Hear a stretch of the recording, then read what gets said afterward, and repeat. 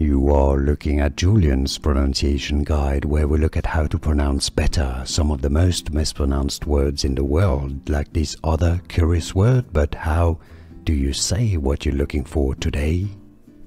Let's learn how to pronounce the name of this American politician who's just been a couple of days ago appointed a to be candidate to the 2024 election with Kamala Harris. So that's not how you pronounce Kamala. If you want on how to pronounce Kamala Harris, make sure to stay tuned. I've got a video for you for coming up.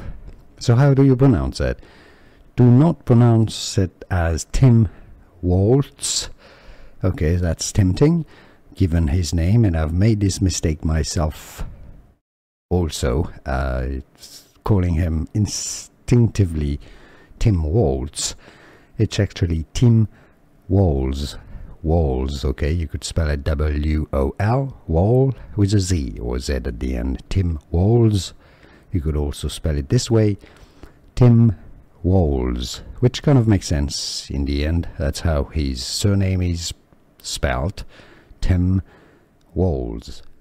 Here are more videos on how to pronounce more confusing words and names too many mispronounced. Like this video if you found it useful, I appreciate your support. I'll see you soon and thanks for watching.